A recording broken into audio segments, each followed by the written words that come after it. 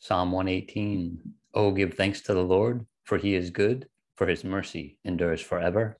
Let Israel now say, His mercy endures forever. Let the house of Aaron now say, His mercy endures forever. Let those who fear the Lord now say, His mercy endures forever. I called on the Lord in distress. The Lord answered me and set me in a broad place. The Lord is on my side. I will not fear. What can man do to me?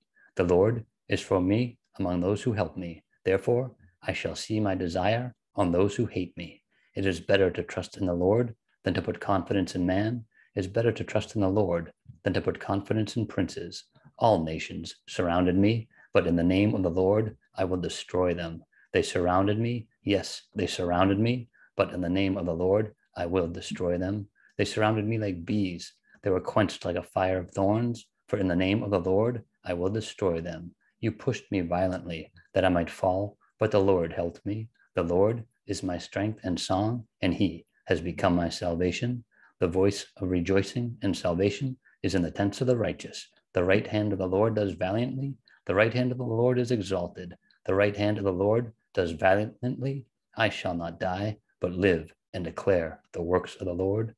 The Lord has chastened me severely, but he has not given me over to death.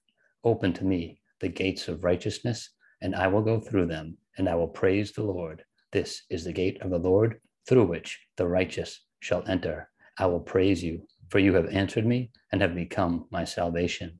The stone which the builders rejected has become the chief cornerstone. This was the Lord's doing, and it is marvelous in our eyes. This is the day the Lord had made.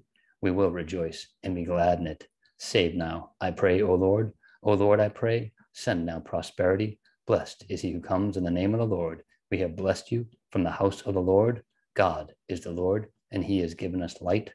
Bind the sacrifice with cords to the horns of the altar.